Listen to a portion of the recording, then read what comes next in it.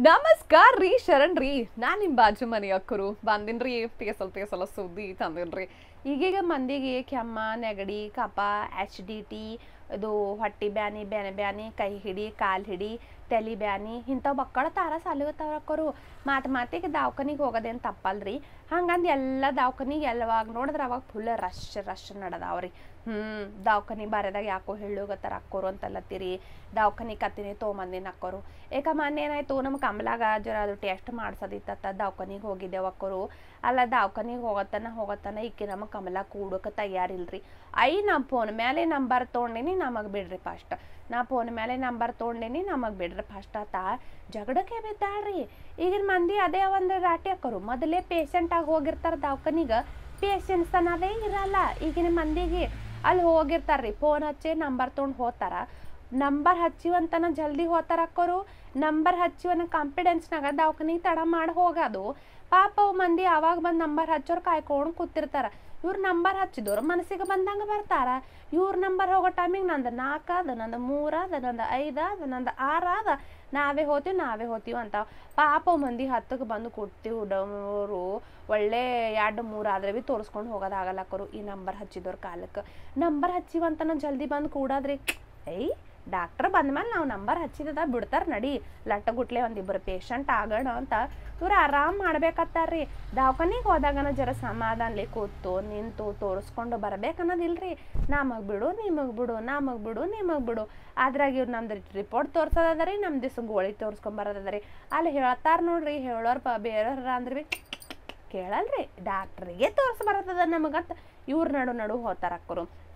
ಹಿಂಗಂದು patient ಆಗಿ ಮಂದಿ patients ಕಳ್ಕೊಳ್ಳೋದೇ hospital ಅದಾಗ ಬಕ್ಕಳ ಬಕ್ಕಳ ಆಲೆಗತ್ತದ ಅಕ್ಕರು ಆಯ್ತಾ, ಈ ನಂಬರ್ ಕತ್ತಿ ಇಟ್ಟಾಯ್ತಾ ಡಾಕ್ಟ್ರ್ ಬಲ್ ರೀ ತೋರಿಸ್ಕೊಲಕ್ಕೆ.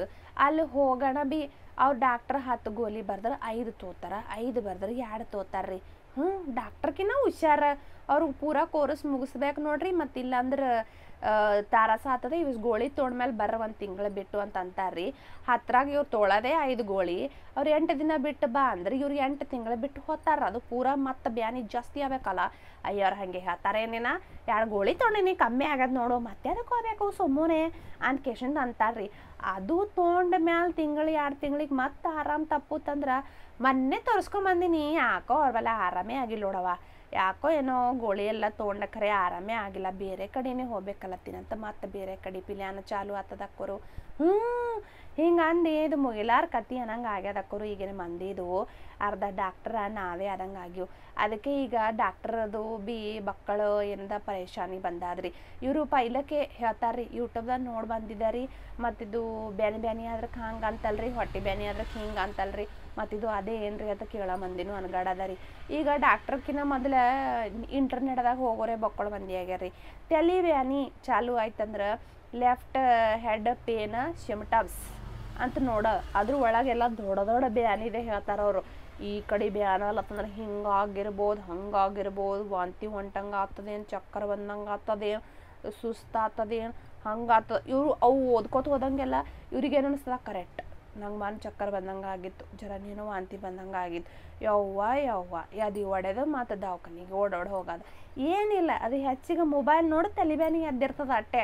ಅದಕ್ಕೆ ಇವ್ರು ದೊಡ್ಡ ಬ್ಯಾನಿನೇ ಯೋಚನೆ ಮಾಡಿ ದವಾಖಾನಿಗೆ ಹೋಗಿ, ಯಾದಿ ಒಡೆದು ನೀರಾಗಿ ಇದ್ದು ಒಸು ಟೆಸ್ಟ್ ಮಾಡಿಸ್ಕೊಂಡು ಬರ್ತಾರ್ರಿ. ಕಿಂತ ಕಾಲಮಾನ ಬಂದದ ಅಕ್ಕರು ಅದಕ್ಕೆ ಜೀವಕ್ಕೆ ತ್ರಾಸ ಮಾಡಿಕೊಂಡು ಟೆನ್ಷನ್ ತೊಳೋದು ಬಿಡಬೇಕತ್ತ ಅಂತಾರೆ ನೋಡ್ರಕ್ಕರು ಟೆನ್ಷನ್ ತೊಳೋದು ಬಿಟ್ರಲ್ಲ ಅಕ್ಕರು ದವಾಖಾನಿಲೆ ದೂರೇ ಆತಿವತ್ತ.